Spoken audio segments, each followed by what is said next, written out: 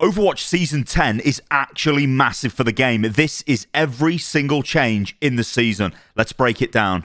So let's begin with the new hero updates. Venture is now available. However, Venture is immediately available in competitive play. Developer comments, this is a pretty major change from past heroes, but we've always wanted to allow new heroes into competitive when a new season for Overwatch 2 launches. In the past, we wanted to make sure new heroes were free of any bugs or outstanding balance issues, as well as giving players enough time to unlock a hero from the Battle Pass. Because of the recent hero trial, we're confident Venture is ready to jump into the action right away.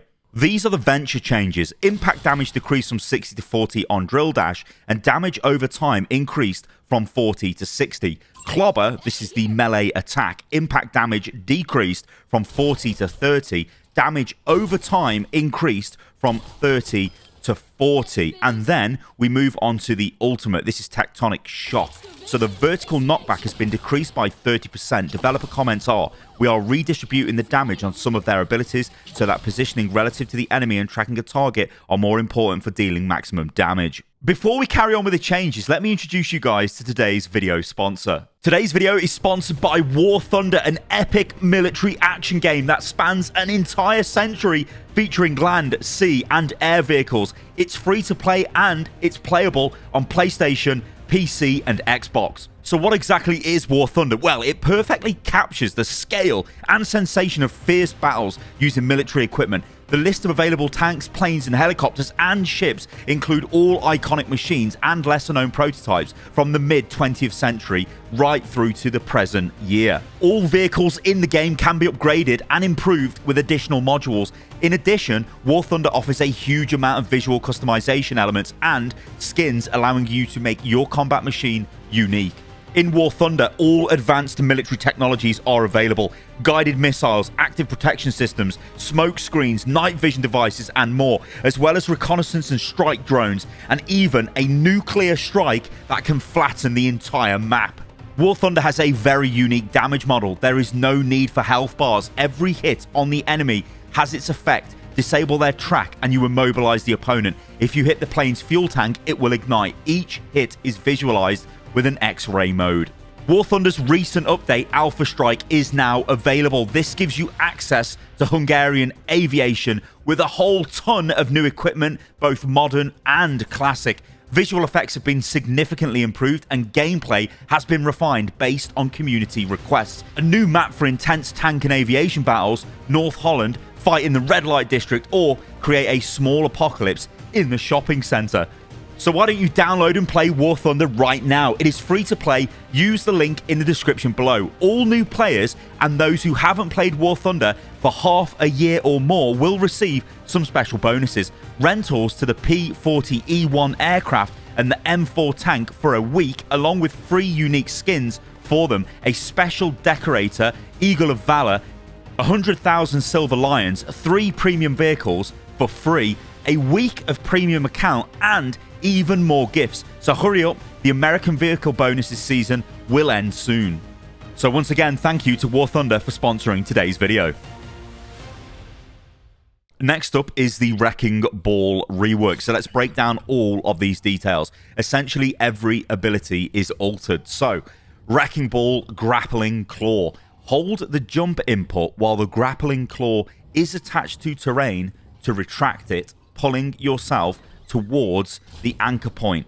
This action can be rebound in his hero settings. Now has a one second cooldown if Wrecking Ball never reaches ramming speed before cancelling the ability. Interrupting him with hack, hinder and stuns will still trigger the full cooldown. The maximum duration timer no longer triggers unless he reaches ramming speed. So these are wholesale changes to the way grappling claw works. They are it, it's just straight up better than it was. Gives you more mobility options. The, the, the way you can retract it is just really strong. That's going to let you get into certain positions. It's going to let you get out of bad positions as well if you're ever stuck off the map, which is not great. Uh, also, adaptive shields can now be reactivated to redistribute up to 300 overhealth to nearby allies, capping at 75 per person. Enemy and ally detection radius increased from 10 to 13 meters. And finally, the ultimate minefield. So the health is increased from 50 to 60, and the developer comments are the general goals here are to add a direct way for Wrecking Ball to support his allies aside from purely enemy team disruption.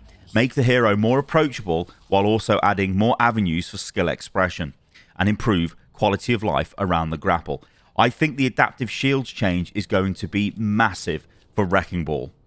Reinhardt's Earth Shatter gets buffed, knockdown duration increased from 2.75 to 3 seconds, and the shockwave range has been increased from 20 to 25 meters. Sigma's experimental barrier has been buffed. Movement speed increased from 16.5 to 20 meters per second.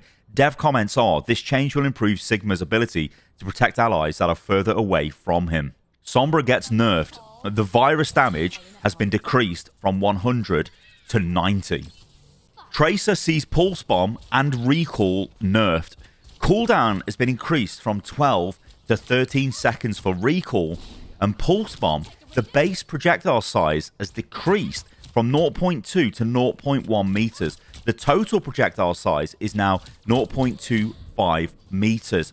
And the developer comments here are there is now more downtime before Tracer can safely re-engage after diving away and Pulse Bomb will require more precision. So interesting nerfs there for Tracer.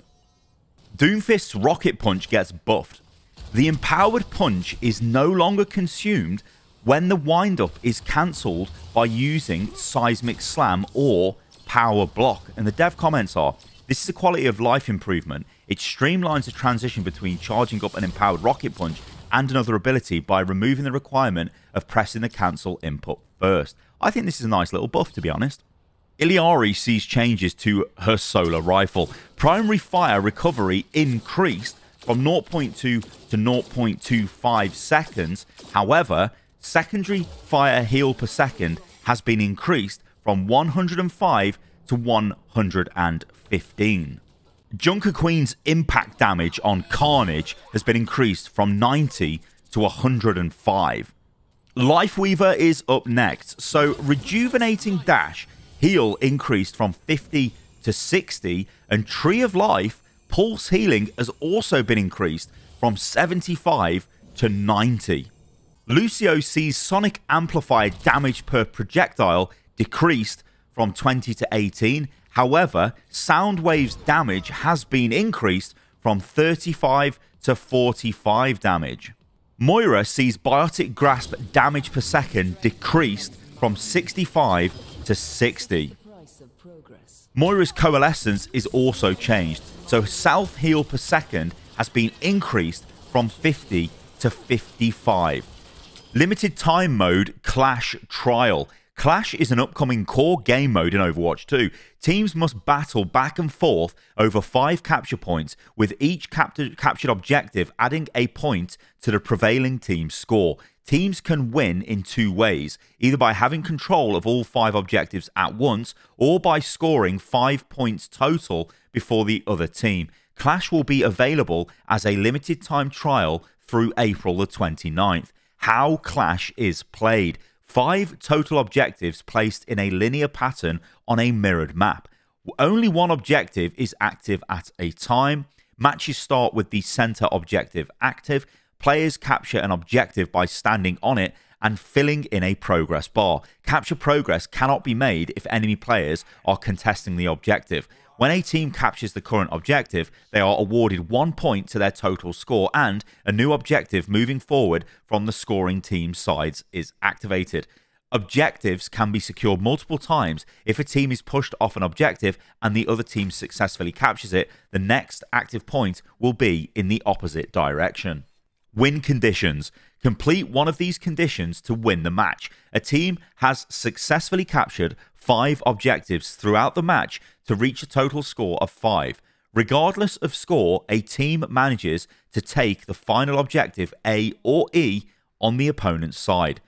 This also features the new map, Hanaoka. Explore never before seen corners of Hanamura in the new map, Hanaoka. Inspired by the visual themes of the beloved Assault map, explore the shops and restaurants around town, or follow the scent of sakura trees in once proud Shimada castle. Mythic Hero Skin Updates. Mythic Hero skins are now unlocked in the new Mythic shop in exchange for Mythic Prisms. Mythic Hero skins are unlocked for 50 Mythic Prisms with a starting set of customizations that can then be leveled up with 10 Mythic Prisms per level. You can unlock the skin and all available customizations for a Mythic Hero skin for 80 Prisms. Mythic Prisms can be earned in the Premium Battle Pass and used in the Mythic shop to purchase the current featured Mythic Hero skin for the season and select previous Mythic Hero skins. You can earn a total of 80 Mythic Prisms when you complete the Premium Battle Pass. Earning Mythic Prisms in the Premium Battle Pass is the easiest way to unlock a Mythic Hero skin and all customizations each season. You can also, because of course you can, purchase additional Mythic Prisms in game or in your platform's store's marketplace. Challenges. Completing weekly challenge milestones will now reward additional Battle Pass XP. Overwatch coins that were earned in the weekly challenges can now be earned in the Battle Pass for all players. Reduce the number of weekly challenges. And the dev comments The number of weekly challenges has grown over time, and we are simplifying what players can aim to accomplish while also making earning Battle Pass XP more straightforward. Endorsement changes. Players who were actioned for disruptive behavior and reduced to endorsement level 0 cannot use text or voice chat features until they return to endorsement level 1. And the dev comments are Since we added the endorsement system to Overwatch, players who have been actioned because of social reports, inappropriate communication, gameplay sabotage, etc., have had their endorsement level reduced to zero. That part of the system isn't changing, but going forward, level zero players will no longer be able to speak in voice channels or type in text chat in most modes. Hide my name. Updated option in Streamer Protect, found under your social options. You are now able to hide your battle tag from other players in your group and from your friends in the match as well. When enabled anywhere, your battle tag is displayed to players during a match, now displays a randomized, anonymized battle tag instead of only to the player with the hide my name setting visually enabled. And the dev comments are the hide my name setting in the social options now displays a random anonymized battle tag to all players in the match instead of only to the player with the hide my name setting enabled. New settings have been added to hide my name from friends and hide my name from group. Of these two settings, hide my name from friends takes priority when group members are also friends. The large list, a large list, list sorry, of handcrafted battle tags has been created to support this feature. Could it contain Easter eggs or silly references? Now, there is a bit of additional information I want to add to this. So, after a game, you will be able to see the actual battle tag of the players in your match, even if they're using this. Uh, and also, if you report players with the hide my name setting enabled, um, their battle tag is obviously still visible by Blizzard. So it's not like they're hiding their name and then they can just be naughty players in the game and do what they like. No, if they get reported, it will still be attributed to their Battle.net account because it still is their Battle.net account. Progression. Added progression badges and sub badges and rewards for Venture. Rewards can be found in the hero challenges. Leaver penalties. Two new thresholds for unranked leave penalties have been added. Leaving two out of 20 games will result in a 5 minute suspension from queuing for most modes. 10 or more out of 20 games will result in a 48 hour suspension from queuing for most modes. All other threshold tiers are unchanged. Dev comments Overwatch 2 is a competitive game, even for unranked game modes, and the match experience for all remaining players is negatively affected when a player leaves before it is completed. Remember, a penalty only apply, applies when you leave games and not when you complete games. By introducing a lighter 5 minute penalty, we aim to discourage players from deliberately leaving games they don't want to play, while not impacting those who may have had technical issues or an urgent need to step away from the game, which they can resolve by the time the queue suspension is finished. The larger 48 hour suspension aims to target a very small portion of players who are aggressively leaving games. Competitive penalties. Leaving 10 games in competitive play will now result in a season ban regardless of the number of games played. Players can still get banned from competitive play in as few as five games if they leave very consistently and don't complete enough games to get back into good standing. Games completed in competitive play now count towards the 20 game window of the unranked leaver penalty. Dev comments We already suspended players who leave a competitive a match and increased penalties up to a season ban for leaving games frequently. But players can work their way back into good standing if they complete several matches. However, this new rule will stop players from gaming the system over time. Competitive role specific titles. End of season titles for competitive role queue will now include the role the rank was achieved in. Examples include Champion Tank, Champion Support, Champion Damage, Open Queue Champion. Competitive Progress. Each role rank card now displays associated competitive role specific title. Role rank cards can now be selected to open the match history for the selected role. Match history will display the following map, game mode, heroes, role date, score, results of the match. Match history can now be selected to open the game report for a match. Grouping restrictions. Now, I'm going to put all of these on the screen um, because I think this information is, is crucial, but we are going to go over it. But yeah, it's all on the screen in case you guys want to pause, check it out, and, and whatnot. But anyway, this is the details. All previous competitive grouping restrictions have been removed. All groups in competitive play are now classed as narrow or wide.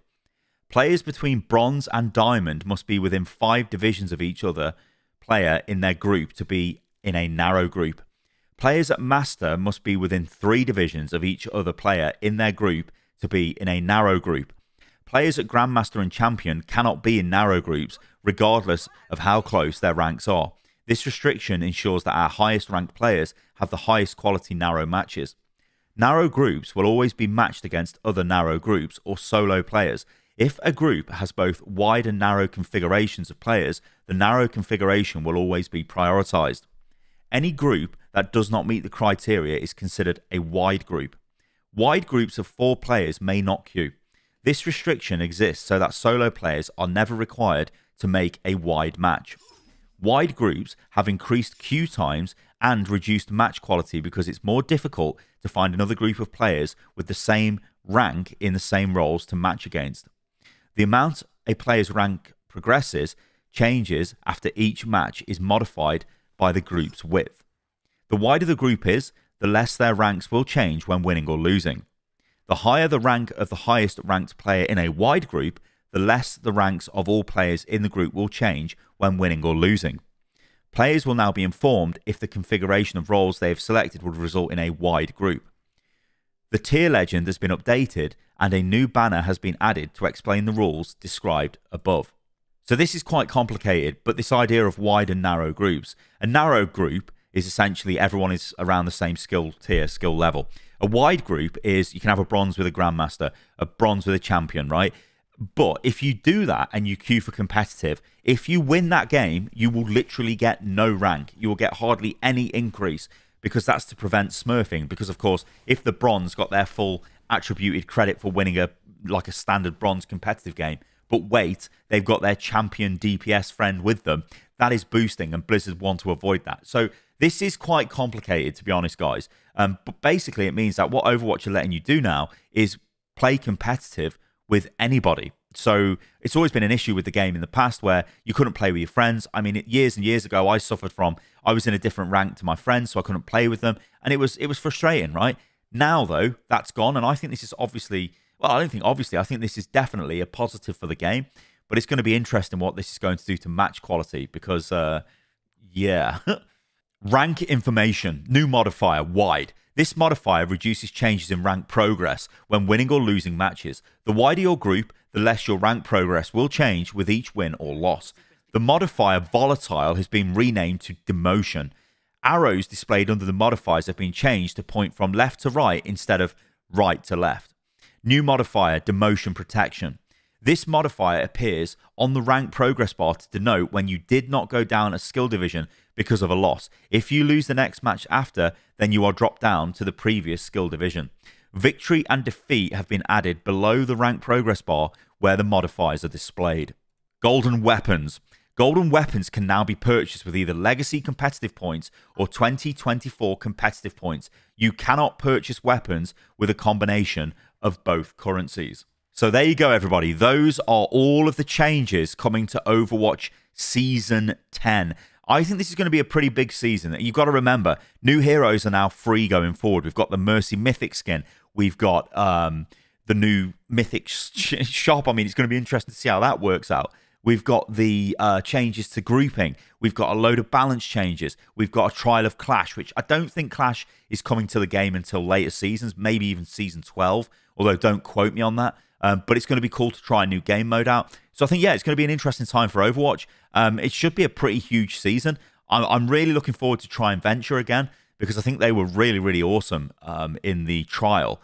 But obviously, balance changes have come into effect. Will they affect the hero?